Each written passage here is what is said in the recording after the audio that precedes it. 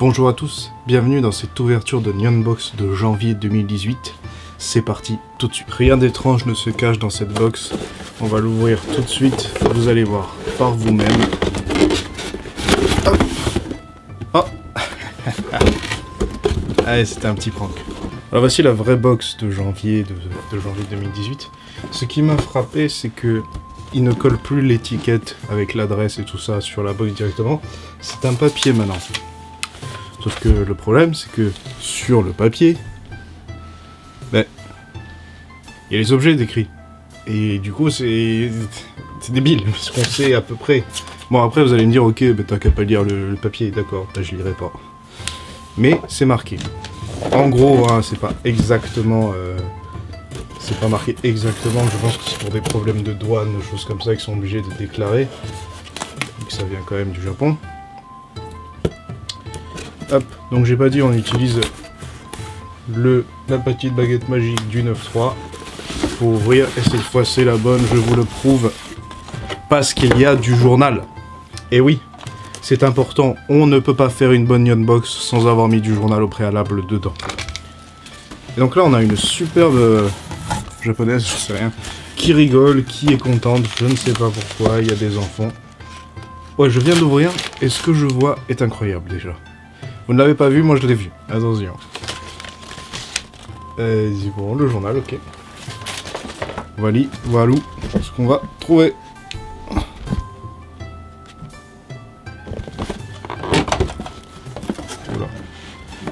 Pour ceux qui ne le savent peut-être pas, je sais pas, il y a euh, le film de Full Metal Alchemist qui devrait sortir là dans pas longtemps. Et euh, donc on a droit à une magnifique figurine, on va voir ce que c'est. Alors ça c'est un chien, c'est parce que cette année c'est l'année du chien, il me semble. Je vous le montre, c'est un... C'est un pendentif... Non, c'est pas un pendentif, c'est un bijou de, sac ou je sais quoi. Avec une petite clochette. C'est parce que cette année, effectivement, c'est l'année du chien. Euh, dans le calendrier euh, chinois. Alors on a droit à un petit Pikachu en peluche. Qu'est-ce qui fait quelque chose Non. Non. C'est une petite peluche de Pikachu avec euh, la casquette du film euh, Je te choisis. Il y à côté de mon grand Pikachu.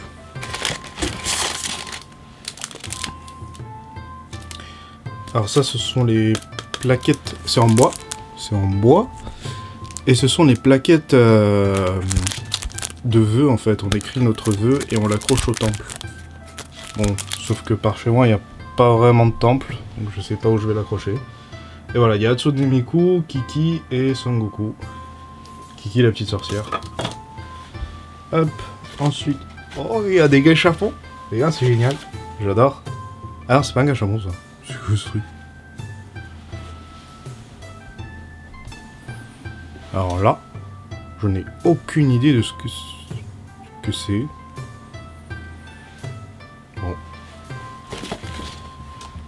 Ça, c'est un gâchapon. Ah, et en fait, c'est un gâchapon, c'est le mon bonus fidélité. Euh, quand vous commandez plusieurs box d'un coup, on vous file un bonus fidélité. Je vais voir ce que c'est à l'intérieur. Alors, je suis dégoûté parce qu'il y en a qui avaient eu des puzzles et tout, et moi, je me retrouve avec un gâche-avant. J'y arrive pas. J'ai besoin de l'aide. Attention, ne faites pas ça chez vous euh, si vous êtes tout seul. Hein. C'est dangereux quand même. Faites toujours ça accompagné d'un adulte. C'est très important. Et c'est un petit Mimiki. Hop là, je sais pas si on va bien voir. Là, t'as petit Mimiki. Allongé. Alors, alors, alors. Ensuite, on va.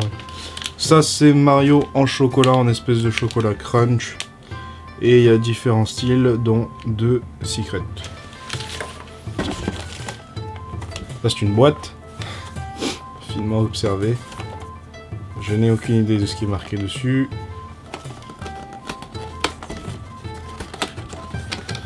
un jour que je... Putain, ce puzzle. Alors c'est de la bouffe. Une espèce de biscuit comme les palmiers là. Qu'est-ce que c'est? On goûtera après. On a une autre boîte. Hop là. Par ici.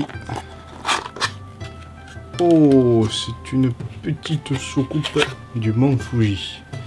Euh... Alors je commence à en avoir pas mal des soucoupes maintenant, et franchement celle-là, euh, elle est classe quand même. hein.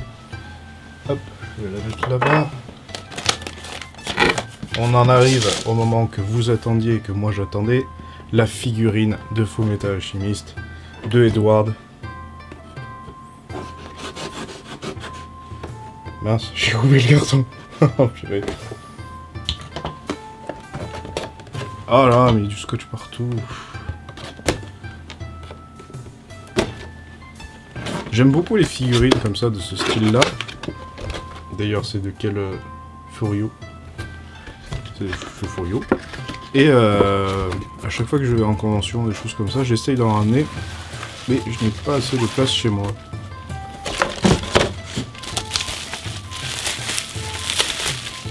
Alors on a le socle d'un côté et Ed de l'autre. Je vais le sortir.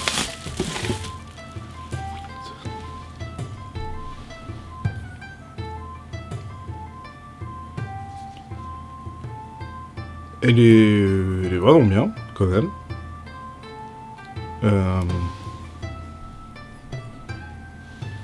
Il y a le signe des alchimistes, donc il y a la montre, il y a le truc. Il y a son bras, qui est bien fait quand même. Il y a du détail. Il y a quand même, euh, voilà, un peu de... Il y a la mèche, donc ça c'est nickel. Il y a la petite mèche rebelle, il y a les cicatrices, et... Je suis bluffé quand même, c'est une... C'est de bonne facture. Et le socle qui, euh, a rien de spécial. Non, c'est juste un, un socle random. C'est pas dans le bon sens. Si c'était dans le bon sens. Alors. Bon, je galère. Moi, je verrai ça après. Alors, on va goûter ces trucs là. J'ai aucune idée de ce que c'est.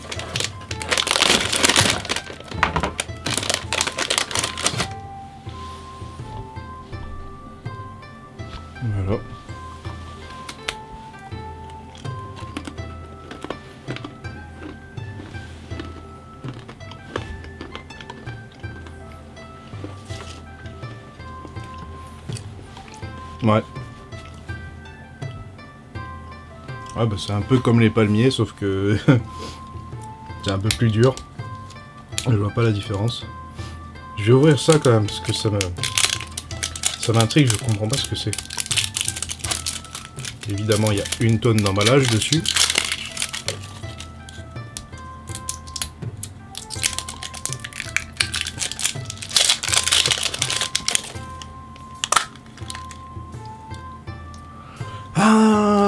C'est un personnage de Doraemon. Si vous connaissez pas, c'est un, un animé qui est passé, euh, qui passait euh, en France il y a très très longtemps. C'est pas du tout ma génération. Je connais que de nom, j'ai jamais regardé personnellement, mais c'est un personnage. Donc on a, le, on a le corps qui est à l'intérieur de la tête.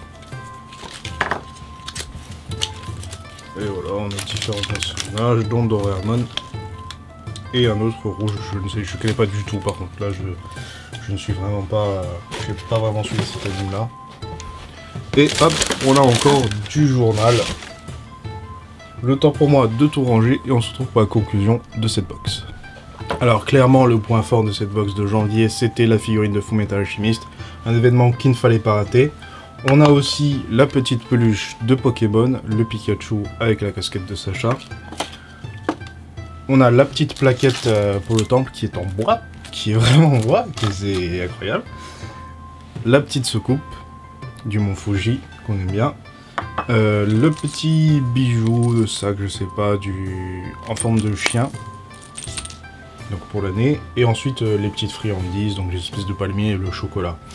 Alors qu'est-ce qu'il y avait dans cette boîte. Est-ce qu'on a bien tout trouvé Je pense que oui. Ah, voilà. Donc on avait la figurine Emma du Nouvel An. Je savais pas que ça s'appelait comme ça.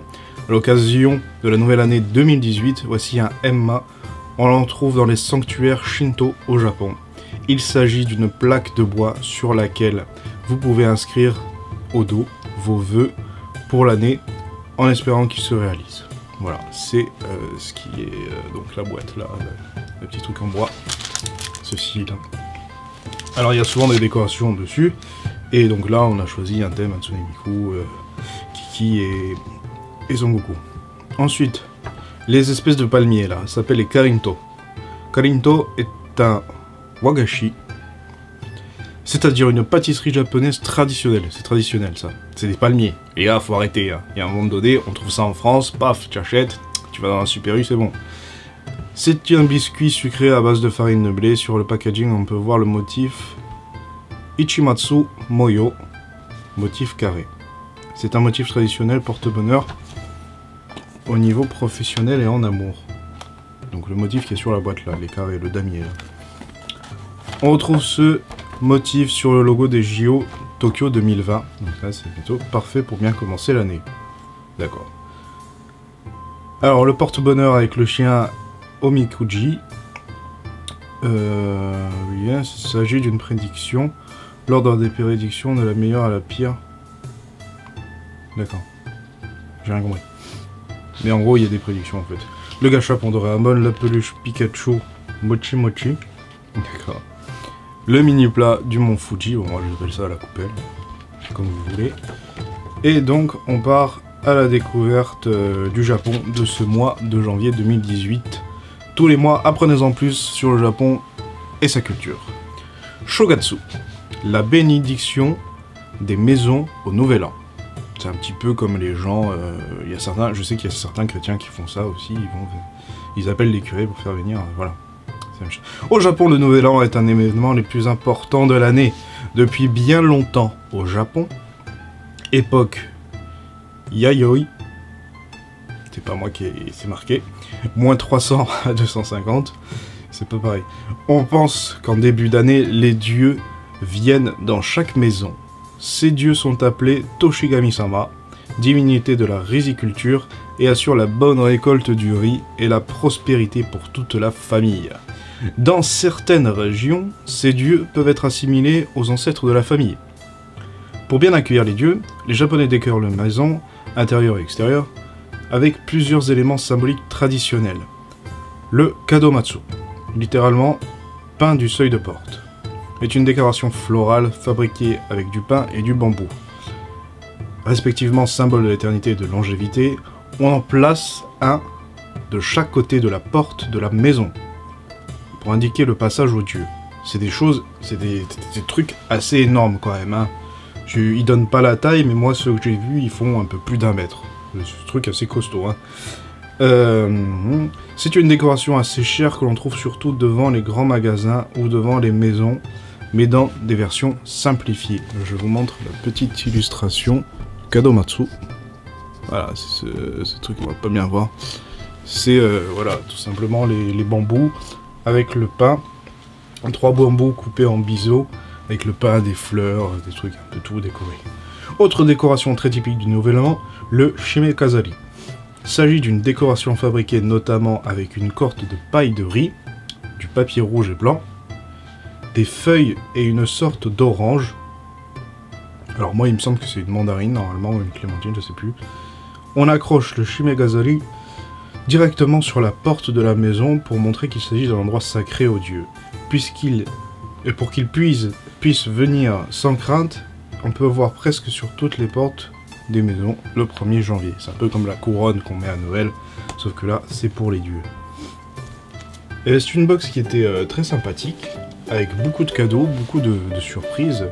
J'en suis plutôt content au final, parce qu'on a une belle figurine, on a des beaux objets, on a une plaquette en bois de temple. Malheureusement, j'ai pas de temple à portée de main, mais bon, ça, ça va le faire.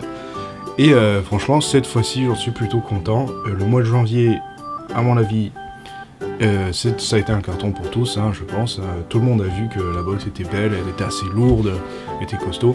Sur ce, n'hésitez pas à liker si ça vous a plu. Sinon, euh, je sais pas. Dislikez pas, hein. attention. Je sais où vous êtes, je sais qui vous êtes. Non, je rigole. Je vais vous envoyer le démon gorgon, les gars. Et euh, sur ce, je vous dis à une prochaine pour une autre box en février, normalement, qui ne sera pas la Nyan Box. Ce sera quelque chose de différent, vous allez voir, attention. hein. Allez, portez-vous bien d'ici là et je vous dis à ciao tout le monde. J'ai oublié de vous montrer en fait le, Mario. Et c'est le Mario de, la boîte. Voilà. A rien. J'ai rien eu d'exceptionnel. Allez, salut.